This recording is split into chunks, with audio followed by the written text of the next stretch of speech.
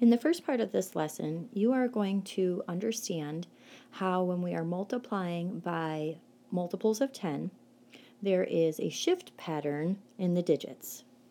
So let's start off with $1. If you have $1, then you have one $1 bill. So looking at our place value chart, I put a 1 in the ones place of the chart. If we multiply that 1 by 10, you know that 1 times 10 is just going to be $10.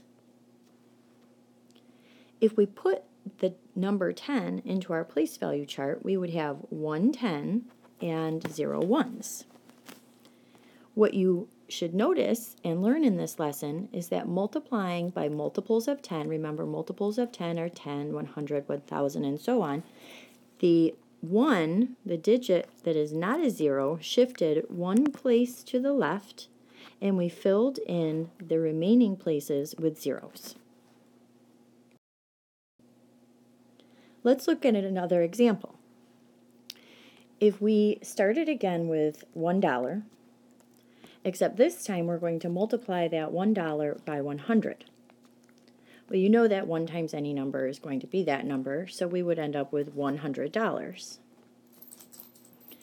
If I fill those numbers into the place value chart, we started with 1, which is 1 in the ones place. Now we have 100, and I know that that's 1 in the hundreds place, no tens, and no ones. Notice when we multiplied by 100, the digit that is not 0 shifted two places to the left, and we filled in the remaining places with zeros. Now we're going to look at taking that same $1 bill and multiplying it by 1,000.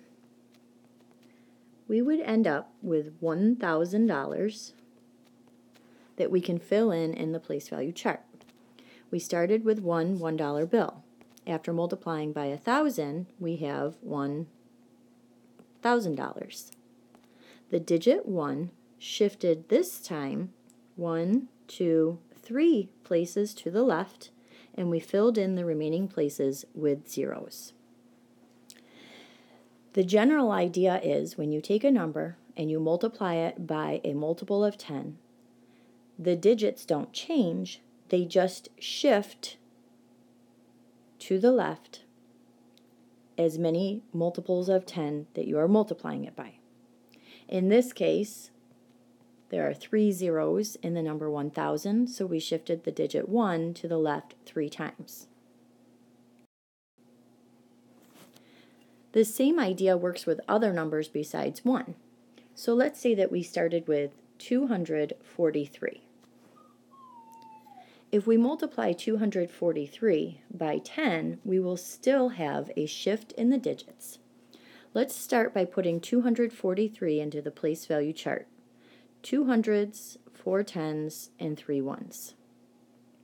Multiplying 243 by 10 will just be a shift in the digits, and because there is one zero in the number 10, or it is one multiple of 10, each of the digits in the number 243 are going to shift to the left one place.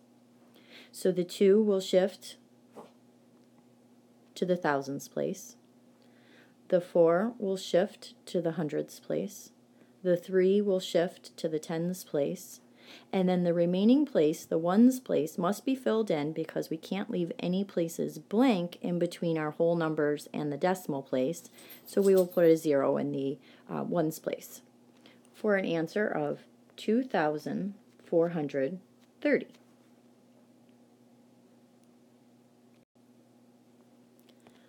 Let's look at another example. This time I'm going to start with a decimal number, 3 and 62 hundredths. If we multiply 3 and 62 hundredths by 100, since 100 is just a multiple of 10, I know that the digits in 3 and 62 hundredths won't change, but they'll shift to the left as many multiples of 10 as we have. We have two multiples of 10, and I know that because there are two zeros. 100 is 10 times 10, another way to think about it. First, let's put 3 and 62 hundredths into our place value chart. 3 whole and 62 hundredths. Since each digit will shift to the left two places, I'll start with my ones place. One, two, three. The 6 will go two places. One, two. The 2 will go two places. One, two. Put my 2. Now, since I have 362 whole, there is no reason to insert any zeros because there is nothing, um, there are no blank places in between the whole numbers and the decimal number parts.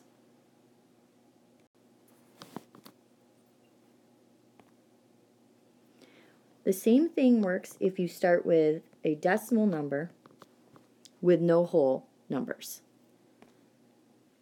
This number says 51 hundredths.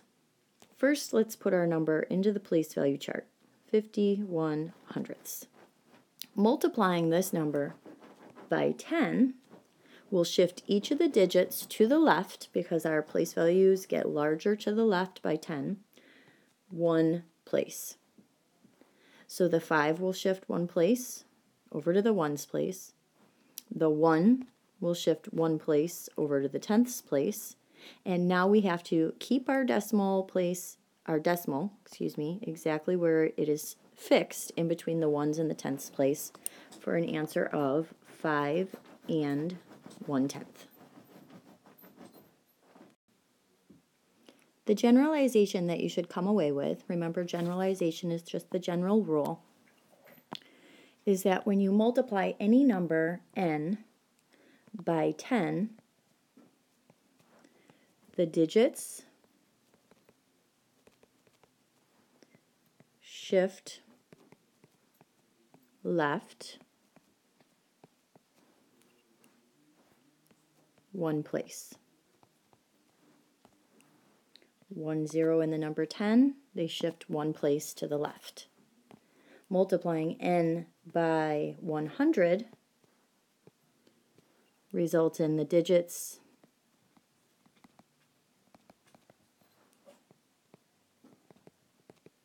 shift left two places. There are two zeros in the number 100, therefore the digits shift left two places. And then this pattern would continue, multiplying any number times 1,000.